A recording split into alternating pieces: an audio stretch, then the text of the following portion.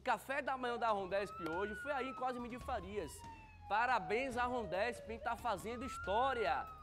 Essa gestão do Major Roberto, eu preciso falar isso aqui. Tá fazendo história na Rondesp. É todo dia um gol. É todo dia um gol. Cadê o gol de hoje? Hoje foram dois gols, né? Dois.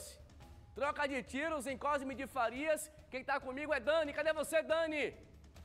Movimentação policial intensa aqui no HGE, Hospital Geral do Estado, na manhã desta sexta-feira, que já começou com tiroteio aqui em Salvador, em Cosme de Farias, localidade conhecida como Marocão, ladeira da Serraria. A informação é que um grupo de 10 homens estavam nesta localidade quando avistaram as viaturas da Rundesp Atlântico, meteram bala na viatura, houve o revide e foi nesse confronto aí que o João Paulo dos Santos Almeida, vulgo Penga, acabou sendo baleado, ficou ferido nesse confronto e foi trazido aqui para o hospital pelos policiais da Rundesp Atlântico. A informação é que o João Paulo, vulgo Penga, já é um velho conhecido da polícia, já é do mundo da criminalidade há muito tempo. Ele estava preso anteriormente, foi solto recentemente, há cerca de quatro meses, e já voltou aí para o mundo do crime. Com ele foram apreendidas duas armas de fogo,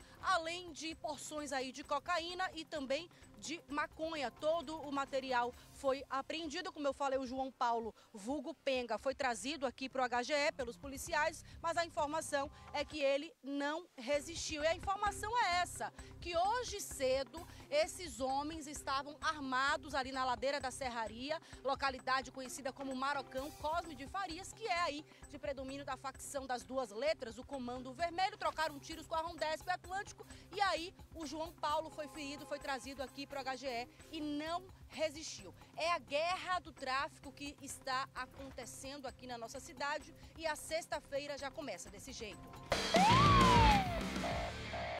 Olha, foram dois. O tal do. do Penga, né? Do Penga.